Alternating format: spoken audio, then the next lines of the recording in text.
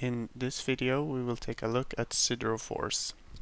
Siderophores are used by bacteria and fungi to accumulate iron molecules. Iron is needed for most cells to perform many different types of reactions and so it's a resource that bacteria and human cells and fungi are all competing to get. Now let's take a closer look at how siderophores actually work within a bacteria. Here we can see the siderophore in yellow. It is secreted out of the bacteria through a transporter that is shown here in orange. It then binds to extracellular iron and the iron bound siderophore is then in turn bound to the purple siderophore receptor and then is able to be taken up again by the bacteria.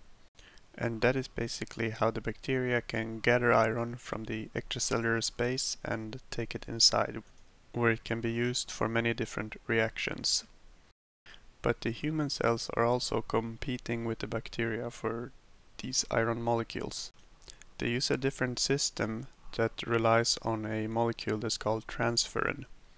But in this video we won't cover that too much. However, some bacteria has developed siderophores with extra high affinity for iron. And so when this extra good siderophore gets close to a transferrin molecule, it can kind of steal the iron from it because the iron has more affinity for the siderophore than to the transferrin molecule. But the human cells have also been evolving to fight back against these bacteria they have developed a molecule called LCN2 that they secrete out into the extracellular space and they then bind to the siderophores making iron unable to bind to the siderophore and making more iron available for the human cell. Lastly, we will take a look at stealth siderophores, which are siderophores that the bacteria have created that are able to avoid the LCN2 molecule.